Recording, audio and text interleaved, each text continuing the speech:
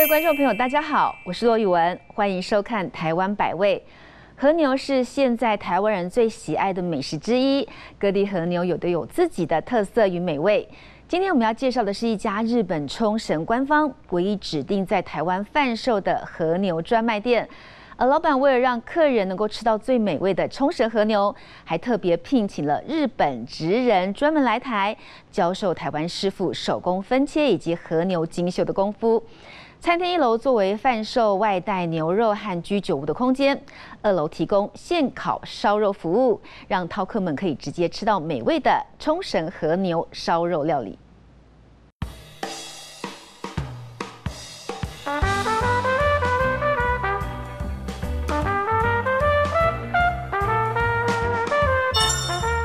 今天采访小组要带大家前进顶级的烧肉店吃和牛喽。这么贵松松的和牛呢，当然不能随便烤，浪费了它的应有价值。我们赶快请专业的烧烤达人教我们品味和牛喽。今天为您准备的第一种是我们的上等牛里脊，那牛里脊啊是比较肥瘦均匀的部位。那再第二个呢是上等牛五花，牛五花的话就是油脂会更丰富一点，那吃起来会更有和牛的牛油香。那第三个为您准备的就是我们整块的沙朗牛排，我们就是先从里脊开始，然后牛五花，最后再吃沙朗。因为里脊的话，它的瘦肉部位会比较多，我们从油脂少吃到油脂多的。那这个大概要烤多久？其实我们不会一直频繁的去给它翻面，哦，因为当您等一下看。它牛肉开始烤了之后呢，它表面会开始渗出它的血水，但血水其实也是你的肉汁的来源。当你一直频繁的去翻面它的时候呢，你这块肉到最后吃起来就会非常的干。可以看，就是从它的侧面开始有颜色上色了之后，表面的血水开始浮出来之后，我们再做翻面。都有平均都有血水。对对对对对对，我们在做翻面，不用急。那当然不知道的时候，我们也可以稍微翻面一下，检查一下它的状态，看一下它的状态有没有问题。哦，那通常以和牛来说的话，我们不建议吃到全熟，我们会比较建议就是吃五到七分熟的熟度。我的我的话呢，表面我都会让它像这样子脆脆的，这是所谓的美纳反应。让它有这个反应上去的话，你吃起来它的就会有一个。肉的焦香味。那另外一面的话，其实我们简单，另外一面不用烤到美纳反应。为什么？因为如果你烤到那样的话，它会太熟，我们就会烤好像这样子，然后让您做享用，就是很漂亮的五分熟的熟度。第一次吃和牛，真的很嫩，嗯，然后再有一点点海盐的鲜，嗯，跟真的跟自己烤的不一样。吃完油脂较低的牛里脊，喜爱油花的饕客可以点选这道上牛五花，就是牛腹肉的部分。淡粉色肉质混搭雪白油脂，灯光照射下闪烁晶莹剔透的光芒。而且为了让客人吃到食材的原味，店内牛肉都没有调味。当牛肉与铁网相遇时，发出滋滋作响美妙声音，引人食欲。入口后，油花丰美不腻，更让人陶醉不已。采访小组马上现学现卖，试试看烤工如何喽。侧面已经开始上色，这时候你可以稍微翻起来检查一下，像现在这样子啊，它就已经是一个很漂亮的梅纳反应了。那我们就大概再等个三到五秒，其实我们就可以开始翻面了。这时候你就可以把它翻过来，然后另有没有看到？它就是油脂去把它做的上色。等你全部翻完的时候啊，大概第一块就可以夹起来了。全部翻完。对。直火烧好的五分熟上牛五花，肉质滑顺而不腻口，油脂化在口中真的刚刚好，不油不腻，又能感受到肉汁蔓延在口中的满足感，滋味真是一绝。冲绳和牛吃起来比较不会油腻。对它的，因为我有听老板说，就是因为它的饲养方式，还有它的天气因素，所以就是杀的日期来说的话，就是冲绳和牛会比较养的比较饲养的比较久，然后吃起来会比较就是香甜，然后油腻感比较少。接下来就进入到重头戏啦。来和牛烧烤店，怎能不品尝一下油脂丰沛、分布均匀、油花有如樱花缤纷落下般美丽的沙朗部位呢？为什么像这样的沙朗是还要用整片？因为像沙朗、菲力，然后乐眼，他们都是牛，我们比较常去西餐厅，你会吃到牛排的部位，所以我们一般都还是会比较，尤其就是日本和牛，不要浪费，我们会比较推荐，就是像这样牛排的方式。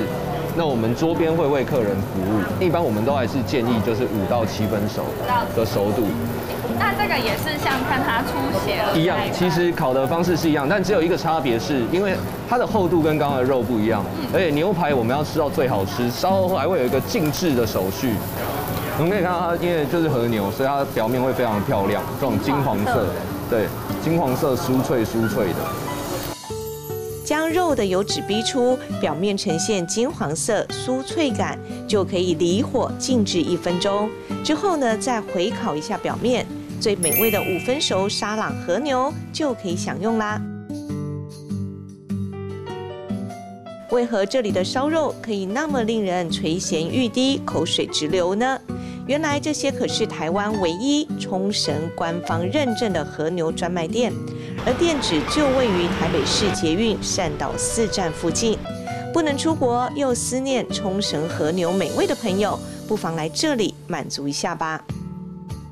石原牛它基本上它是没有出过国的，台湾是它唯一出国的地方，因为它的产量非常的少，它在去年的产量一年才六百多头。六百多头的概念是，它一个月就只有五十几头而已。从事和牛贸易进口十多年的老板 Jeff，原本是在香港帮朋友采购日本和牛，后来台湾开放和牛进口后，对日本和牛市场相当熟悉的他，深知冲绳地区才是日本和牛的美味关键，而决定引进台湾。石原岛它是一个日本最南端的岛，那所以它。在三四十年前，他是都是在养小牛的地方，他把所有的小牛养到九个月，送到日本的各个产区去。他送到宫崎就变成宫崎牛，他送到神户就变成神户牛。他们为什么在冲绳养小牛？因为冲绳本身是个呃珊瑚礁地形，所以他们的水都是含矿物质非常的多，所以在他们那边养的小牛，他们的骨头都长得特别好。小牛骨头特别好的时候。相对它就可以养得更肥更大，所以它到每个地方去，他们的风评都很好，所以日本各地的农场都是要指明冲绳的小牛。来自石原岛的和牛，因为地处南方，油脂的含量反而更适合不爱油腻口感的台湾人食用，也打破大家常对和牛有吃多会过腻的印象。而为了一改大家对和牛的油腻感。厨房主厨更向我们推荐一道超适合在吃和牛时搭配的前菜。很多人会怕吃皮蛋，因为它有一股味道。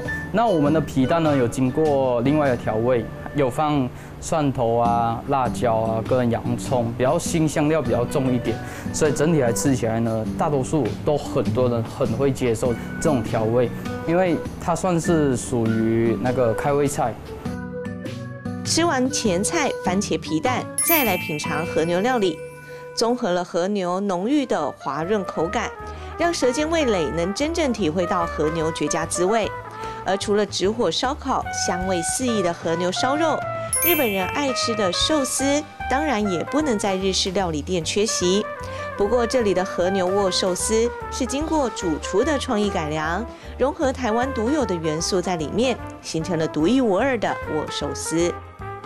我们的寿司米里面呢，我们会加一些只有台湾拥有的新香料，那就是马膏。而且这马膏的分量不可以太高，因为如果太高的话，它会把和牛的本身的甜味跟香气给拉掉。所以加一些些适当的调味，就可以足够去把和牛本身的甜味跟油脂的饱和感给激发出来。完全手工切片的和牛肉片，厚薄不一。炙烧至五分熟的上牛五花，入口即化，滑顺口感，搭配着淡淡马告香的醋饭，一口一个饱满的油脂香气，幸福感瞬间暴增，保证会忍不住再来一个。而且为了让客人吃到最 top 的日本和牛，老板还特别聘请日本职人师傅来台亲授手工分切以及和牛精修的技巧。餐厅设计上。二楼提供烧肉服务，采现点现切方式，确保每块肉烧烤时的口感。可以吃到最美味石原牛的烧肉料理。而一楼呢，则规划成贩售外带肉铺和居酒屋空间，想买回家自己享受和牛大餐，也是另一种不错的选择。老板更在访谈中分享了自己开店的初衷，就是想让高品质日本和牛成为年轻人也吃得起的高 CP 值美食。现在不能随意出国的日子，不妨来这间台湾唯一可以吃到十元和牛的烧肉专卖店。用美食抚慰一下空虚的心灵吧。鲜嫩多汁啊，然后烤起来就不会干干柴柴的啊，它的肉很 Q，真的跟活的一样，跟就是刚刚活活生生从那个北海道抓来一样，然后非常的鲜甜。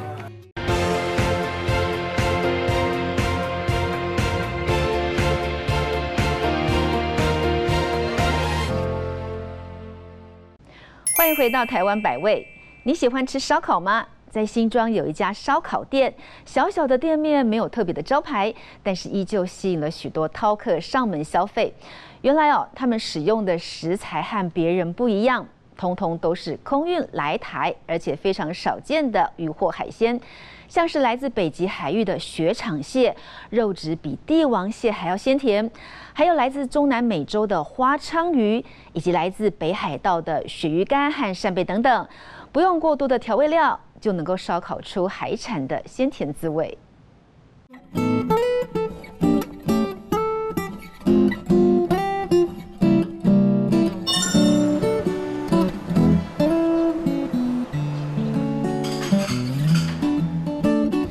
上的海鲜准备上架，各式各样的海之味排排站，几乎都是漂洋过海空运来台。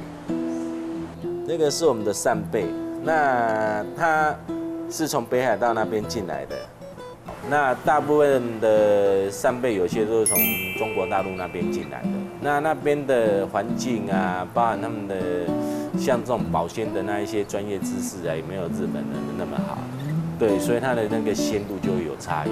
来自日本北海道的扇贝品质打包票，因为老板还特地到日本的工厂看过。渔民收。收起来之后，就直接送到附近的那个加工厂去做加工。那它原先扇贝是两个壳，那它经过经过那个一个机器去清洗，那再加上一个震动东西，把它的上盖整个震动掉。那我们的货就直接下去做急速冷冻。客人定位炉火全开，日本产地直送的扇贝直接放上烤架，不一会空气中散发浓浓海味，扇贝汤汁溢出，烤出最佳状态。通常扇贝我们都只有烤到半熟而已。对你烤到全熟，第一个，尤其是水产，它熟了之后，它一定会缩小，那会它会释放出它的甜分。那当你把它烤到全熟，或者是你煮到全熟的时候，它的甜分会完全几乎会释放出来很多。烤个半熟，它还有一个香气，它有烤过的香气。那还有一大多数的那个汤汁还会锁在里面。五分熟，刚刚好的程度，也不必调味，直接送到客人面前吃原味。这里的扇贝啊，它真的是肉质很鲜美，然后它又汤汁很多，再加上这个主厨的技术啊，让整个扇贝都充满了 juicy 的感觉，不会很干这样子，很容易就入口，然后味道是非常非常的鲜美，就新鲜度感觉就达到一百分。原本对海鲜不懂的文雄，几年前受到同学邀约，一脚踏进海鲜烧烤这一块。同学懂水产，但文雄这个门外汉只能在短时间内大量吸收相关知识。现在也称得上是水产达人。手上拿的这一只是来自北极附近海域的水场蟹，特色是体型大，肉质丰厚。据说一只可以重达四到五公斤，光是蟹脚就和文雄的手臂快一样长。雪场蟹的话，它的名字的由来就是，因为它跟捕获鳕鱼的场地有互相重叠，它是在底层。那有时候在捕捞的时候，它可以顺便捕获到这个雪场蟹。那它的一个命名的由来就是说，它是在捕获鳕鱼场所抓到的螃蟹，因为它比较大，所以它的价格也比帝王蟹高高出很多，肉质上也有一些差异。对。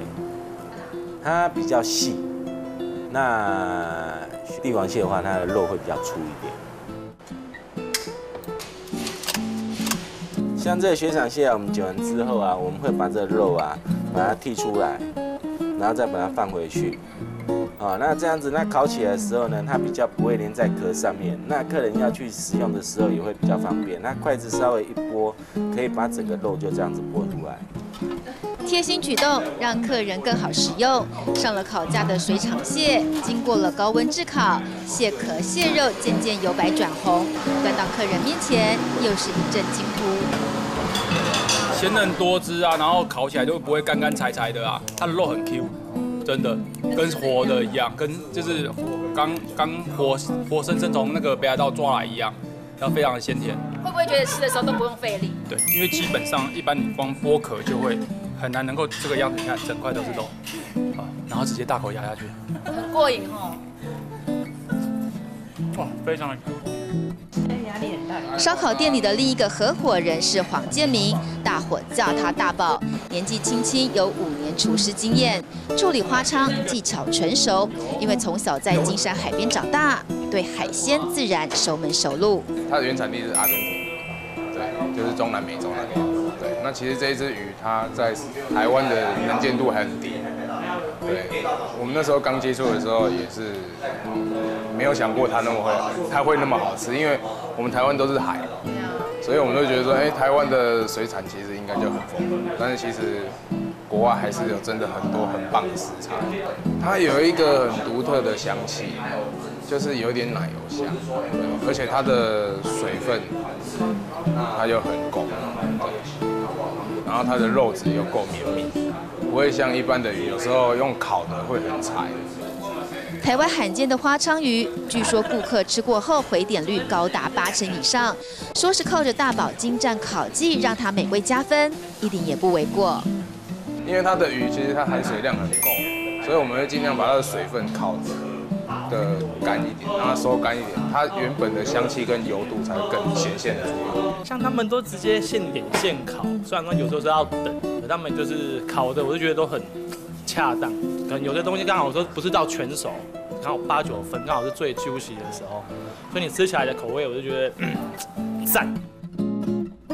让顾客暗赞的合伙同伴共有三人，懂水产的同学负责批货，文雄和大宝就负责店里的烤台工作。别看两人现在烤技一流，回想三年前开店，没有接触过烧烤的两人，常常因为烤不及格而被客人打枪。你之前一开始还蛮惨的，他们怎么说？就是会说，哎，你这个鱼为什么烤起来就不够干啊？还是说这个虾子烤起来香度不够啊之类的，对啊，都会讲。那有时候因为一开始其实烤也没经验，所以很多很多东西其实很容易把它烤太焦啊之类的都会有。对啊，那就是慢慢的学，就是客人打枪我们就哦再重新烤一份给他，那就慢慢的在里面学到经验。厨师也会很受挫当下。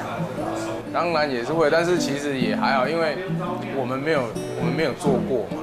对啊，如果你说哦这个东西我们已经呃很很常做，然后还被打枪，那当然会很受挫。对啊，对啊。当下情况当然是会先客人说比较不好意思，因为这个东西啊，不管是哪一个食材，那可能不合你的口味，那我一定会先去了解它不合它的口味是怎样，是食材本身的问题，还是我烤的问题。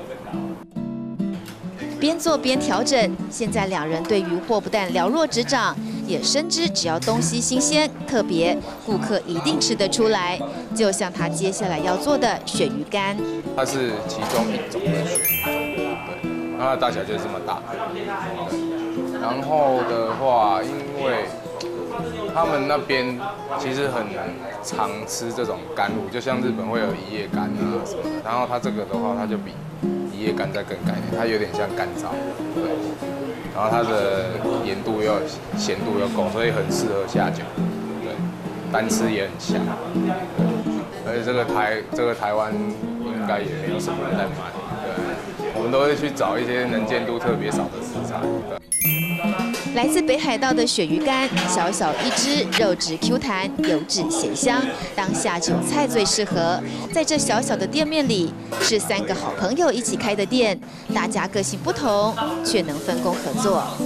我们其实三个人本来做的行业就都不一样，所以会对某些点会特别的注重。像我的话，就会注重在于呃给客人。出餐的那个样态，还是说我们本身，呃，我们食材放在这边，他就是要把品质顾好。他就是比较注重一些小细节，像有时候我们会看不到这边很脏，然后他就认为哦这边很脏，然后他就会停止就打。他主要会 focus 这一块，还有对于酒类，还有一些饮料，他会特别注重。三个好朋友靠着对水产的认识而接触到烧烤，用新鲜的食材和真诚来和顾客交朋友。所以，即便店外没有明显招牌，但还是培养出一群支持他们的老顾客，三不五时就会到新庄福美街来这尝鲜。这家店在我们南子哦是很出名的，所以说呢，没有人不知道。让我印象最深刻的就是那个海鲜粥。主要是它那个汤吼很鲜甜，真的很好，很好吃。我到现在还想再吃一碗。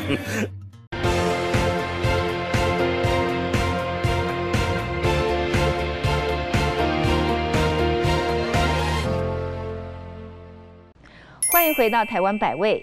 接下来要介绍这家位在高雄男子的景观餐厅，除了有专属特制的美味餐点，还有绝美的露天座位。店家精心的布置以及闪亮亮的灯光装饰，非常的有浪漫气息，很适合约会、聚餐和拍照。来这边用餐，你可以坐在舒适的环境，听着随时间变化的音乐，也可以完全感受到南台湾独有的轻松与自在。另外哦，餐厅还有提供专业的求婚团队，可以帮情侣们完成求婚大事，是一间充满爱与浪漫的用餐型选择。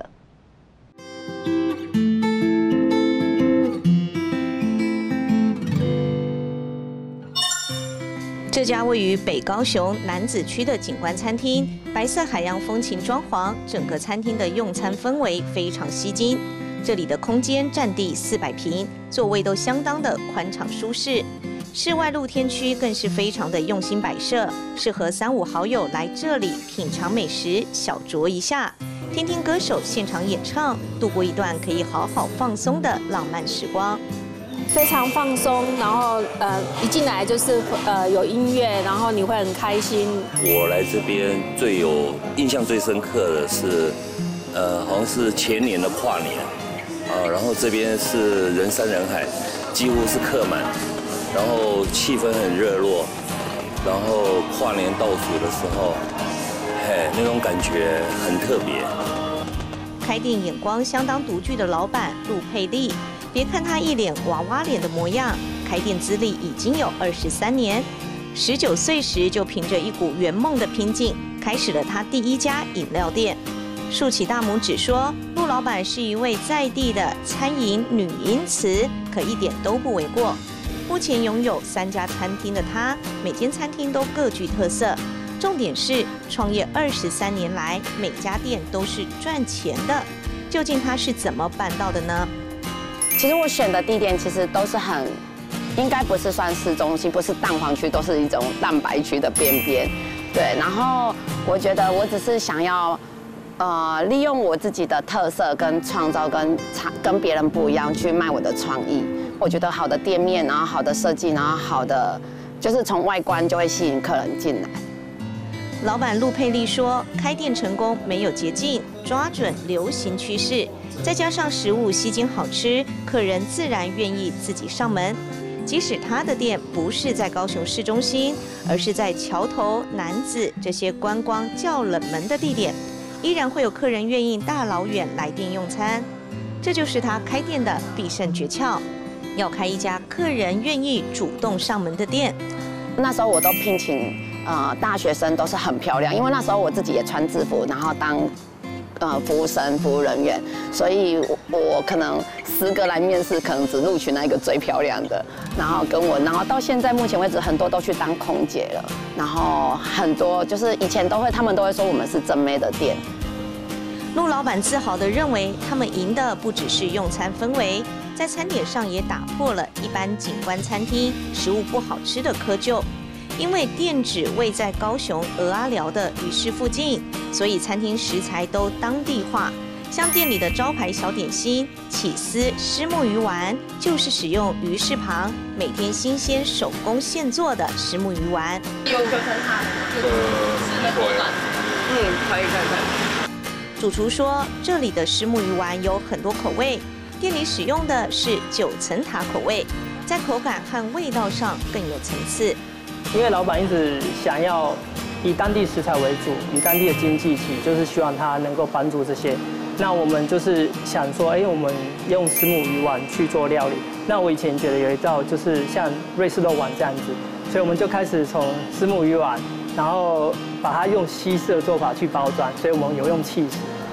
而既然餐厅是位在有丰富海产的鹅阿寮附近，怎能不去鱼市好好挖宝来入菜呢？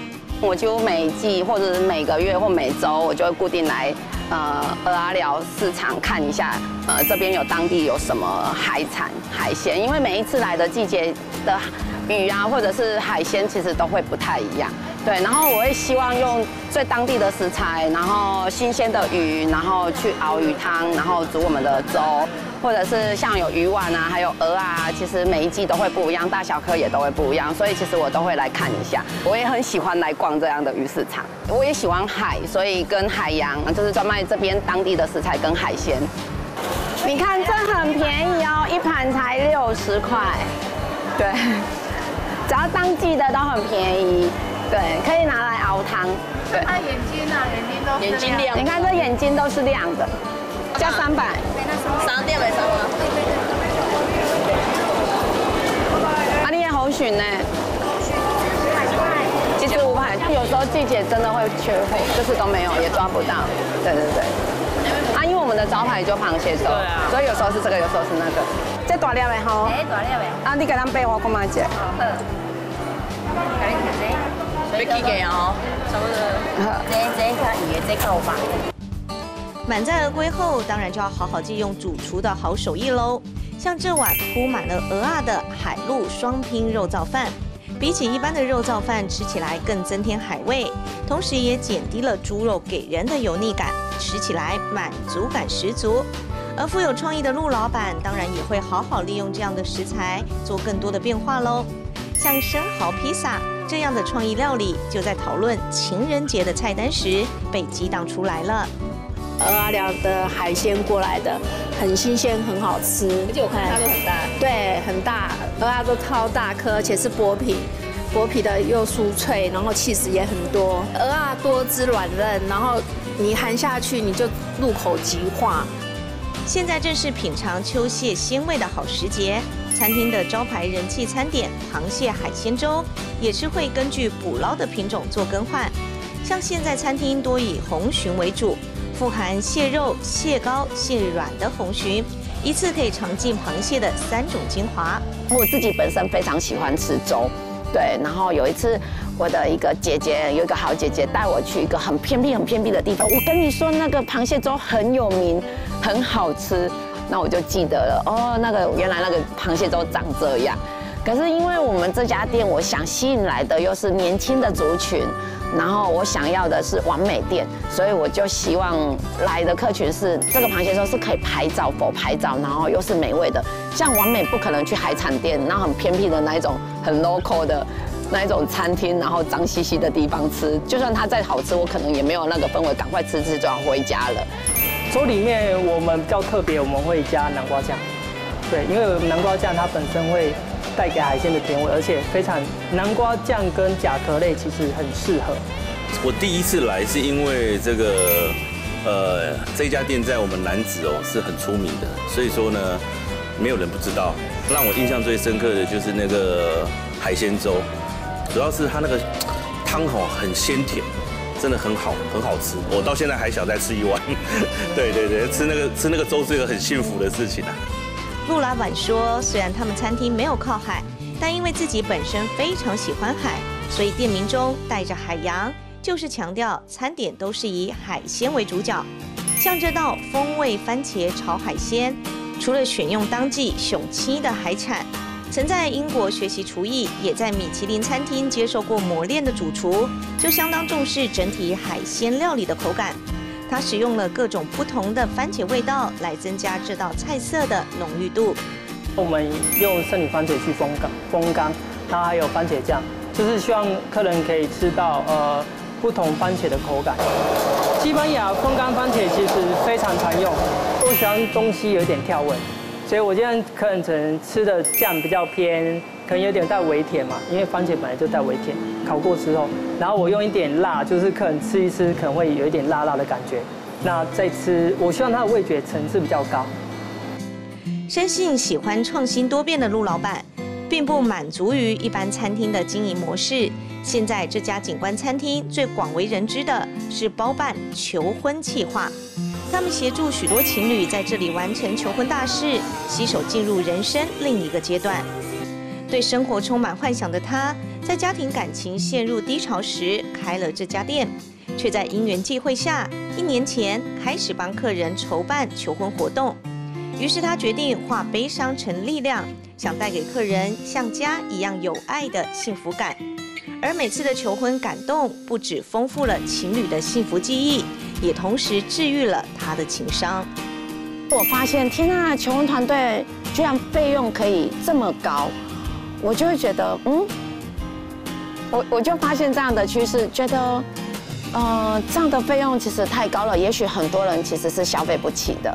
所以那时候我就自己也帮客人求婚啊。我的求婚最主要不是想要赚钱，我是想要带给别人幸福，带给男女主角回到最初，然后给他们感动，然后给他们有时候看到他们都已经交往十年啊、十五年，然后再来求婚，可以回到当初的初衷的那一种那一份感觉。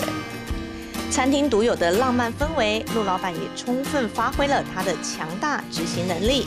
提供各种包场服务，如户外婚礼、跨年、生日派对等，并为寿星免费送上花式造型调酒饮品作为祝福。其实来这家店，呃呃，很多人是为了庆生而来的，所以我们我们为了庆，就是可以让客人来，然后很满意，就是我们我们自己设计了那个庆生花的试管酒，就是有很多试管，对，其实还蛮有特色的。有了这些经验的累积，现在的他不止卖美食、卖气氛，他有更大的愿景，希望打造全台最幸福、最令人感动的餐厅。所以现在餐厅每周也会举办多场联谊活动，帮助单身朋友拓展交友圈、认识新朋友，甚至走出户外举办大型郊游联谊，促成了多对的幸福缘分。陆老板感性的希望，餐厅想带给大家的不只是美味餐点。而是每位客人回家时都能有星光般的灿烂笑容与满满的幸福。我们曾经非常非常的惨，一天营业额不到一千块，那时候非常难过啊。然后我们一直在找寻方法，很辛苦，对，但是我们一样撑过来了。就在运动场上，如果裁判。还没有鸣笛，我们还并不知道谁输谁赢，对，所以坚持最后一一秒钟。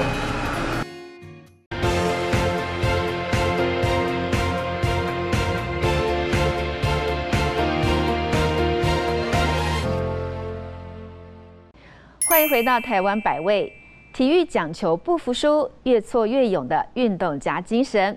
而原本是橄榄球国手的简浩翔离开了运动场之后，有感于运动员没有一技之长，在职场上很难生存下来，于是他拿出了运动家精神，努力拜师学艺，甚至还开设了一间日式居酒屋，成功开创自己的另一条路。然后最难得的是，他店里找来帮忙的伙伴也全都是运动国手。简浩翔希望透过这间居酒屋，能够成为这些运动员的另一个竞技战场。继续热血下去。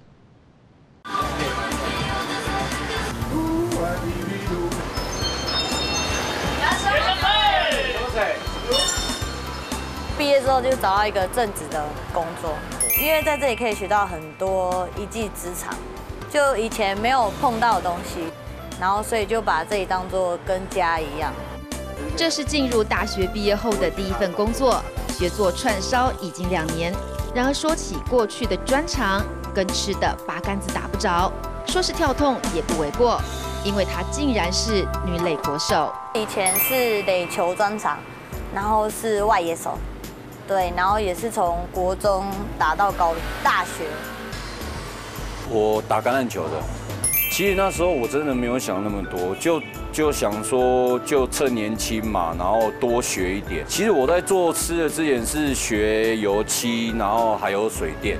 他叫小鬼，身高一百八十公分，曾是橄榄球国手。然后不只是静茹和小鬼两人，其实在这里工作的全是运动选手，有的打网球，有的是打篮球。共同点是，他们现在都要叫简浩翔为老板。球员的出路毕竟有限啊。那出了社会就是一个不一样的环境，那大家都是要从零开始，就好比你看职办、职篮、老师，呃，运动选手的年纪都有限，你到了三十几岁、三十五岁的时候，慢慢下面的年轻球员上来，基本上你就已经被取代了。皮肤黝黑、标准运动员体格的简浩翔，以前就是位橄榄球国手，最好的成绩是打进了亚洲青年杯以及世界青年杯的比赛。但遗憾的是，大学毕业没有考上老师，于是决定投身餐饮这一行，先到别的居酒屋工作赚取经验。现在已经是一个日式串烧高手。因为他本身肉质肉质比较少，那。一般人都不喜欢啃到骨头，那我们需要把它左右两边比较，呃比较肉多的地方，我们需要把它一块一块的取下来。串烧是居酒屋的主食，尤其鸡颈肉是最难处理的一项，肉少骨头多，为了口感，得细心的用刀将它骨肉分离。九浩翔虽然是运动高手，但料理这一块得重新学习。有一次刀。不小心掉在掉在在座位的时候掉在地上，他不小心去划到自己的脚趾头，那一次就划到就送医院啊，又缝了三针啊。三针。对啊。可是没有把你吓到。没有啦，这个不会啦，那一点点痛不算什么。从运动选手变成料理达人，简浩翔后来更动起了开店的念头。他想。日式串烧让自己有了一技之长，相信一样也能够帮助其他的运动员。于是他找来了以前的同学，也是橄榄球国手的小鬼来帮忙。然就是他。你那时候怎么跟他说？因为那时候跟他讲说，呃，我有这个想法，要要弄一家居酒屋。对，那那你有没有兴趣跟我们一起拼？对啊，那也很感谢。小鬼他毅然决然的就辞掉工作，啊，赴汤蹈火的马上过来帮忙。真的吗，小鬼？对啊，因为那时候也没有想那么多啦，就想说，因为从小到大就都认识很久了。对，其实他暗恋我很久。镜头前毫不掩饰的开玩笑，看得出两人的好交情。小鬼的加入，一开始大家都很拼命。只是营业额却少得可怜。我们曾经非常非常的惨，一天营业额不到一千块，一天成本至少要八千到一万。对，所以我们其实就那时候非常难过啊。然后我们也一直在找寻方法。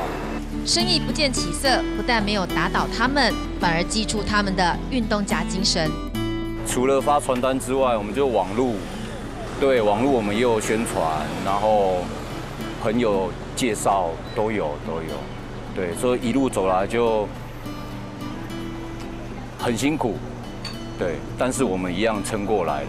就在运动场上，如果裁判还没有鸣笛，我们还并不知道谁输谁赢，对，所以坚持最后一一秒钟，就是这样用这个精神走过来。对，这就是体育的精神。没想到三个月过去了，生意越来越好。这时店里需要更多人帮忙，但简浩翔坚持用运动员，其中的简金龙还是他特地从阿根廷请回来的。现在我要鱼要开背，好，我做成叶干要把它开背的动作。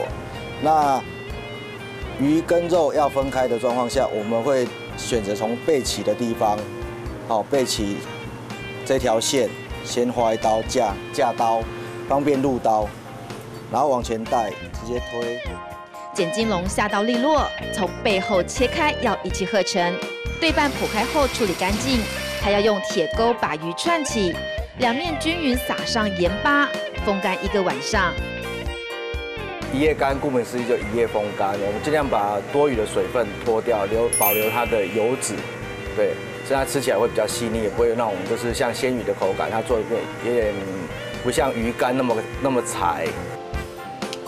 简金龙曾经是网球国手，国中、高中那段年轻岁月，手拿的都是网球拍。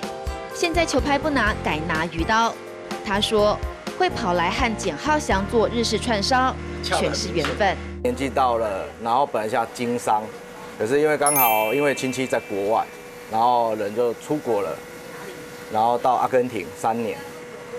可是碍于语言方面的能力，然后刚好又回国。然后在于创业这一区块的时候，老板那个时候刚好就是我刚好回来，然后他就说：“啊，你上来，你上来，我们开餐饮业的东西。”我说：“我不会啊。”从当初的完全不会，到现在简金龙已经是各种高手。因为我们打网球，毕竟你要用球拍去控制球方向、击球点、甜蜜点，你要掌握到精准度。那运用在刀上面的时候，我们要运用刀的刀尖、刀锋，要去切食材，还是也要一定的精准度，可能这个比较有关系吧。就这样，大家都离不开了，在一起打拼超过四年。静茹是他们的学妹，两年前才来报道，现在跟着简浩翔从刀工学起。这个这边稍微去一下，对，对，不要让客人吃到那个太油的地方。好，OK，然后边边角角那边稍微修一下。他刚开始只会只会拿球棒，他不会拿刀。他的毕业后的第一份工作就是在这里。他刚开始切的时候怎么样？怎么样招？啊，怎样招？切到手。他也是会切到手啊，跟我们一样啊，没有拿过刀啊，也是一开始也是伤痕累累啊。简浩翔深知，外界一向认为运动员没有一技之长。所以一旦决定加入，就得下苦功，把功夫通通学回家。因此，即便静茹是女生，骂起人来也不心软。食材方面会比较要求，对，那他如果有有一点闪失的话，我是我是不太容许他这样子。你那时候骂他什么？怎样？我那时候骂他，你是白痴吗？啊！结果他就跑去厕所哭了，是跑到厕所吗？还是 躲起来？就躲起来，去外面呼吸新鲜空气。有哭吗？就还是会啊。可是你还是撑下来。对啊。所以呢，当下是擦干眼泪，继续。就像是运动场上没有认输的权利，静茹每天必须把松板猪处理完毕，切除多余的油脂，让口感更好。还得把松板猪一块块切成一致的大小，好方便入口。简浩翔说：“一家店要吸引客人上门，任何细节都不能马虎。”现在大家在店里各司其职，更像家人一般相处愉快。从一百年开业到现在，简浩翔的居酒屋在台北市已经拥有两家分店。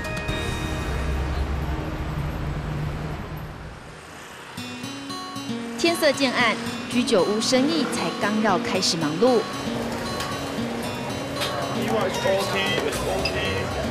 就像是比赛场上，大家就各占位置。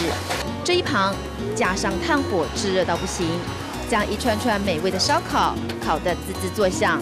木头的日式装潢，加上微暗的灯光，就连远道而来的日本人也爱上这里。秋刀鱼，还有沙拉，还有那个卡拉给，还有那个后面有一个串焼鸡串烧。吃过之后啊，觉得它的味道怎么样？啊，很好，很好，更好像日本的味道一样。日本日本の味と一緒です。 はい。美味しいもん美味しいです美味しいです。はい美味しいです。あの日本の味と 同じような感じで台湾にいながらにして日本の味を楽しめてます他说在台湾，但是味道跟日本一样，所以很快乐的感觉。就是很道地的。哎，对对对对。精心处理过的串烧，香气弥漫整间居酒屋。松板猪涂上特制的蒜油酱，更添风味。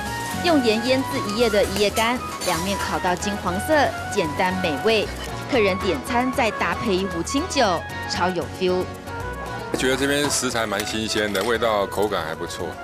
对，然后它那个鱼啊，还有那个串烧还不错。我坐在这里感觉像像在日本一样，就是这种感觉。然后那个味道呢？嗯，味道也不错。我觉得更加了一点台湾的特色，就是偏甜，但是我还蛮喜欢的，因为女生都比较喜欢甜的东西。东西好吃，客人捧场，简浩翔的居酒屋做出了口碑。回想一路的创业过程，简浩翔说，他就像一开始不被看好的球员，没想到一路过关斩将，现在连父亲都以他为荣。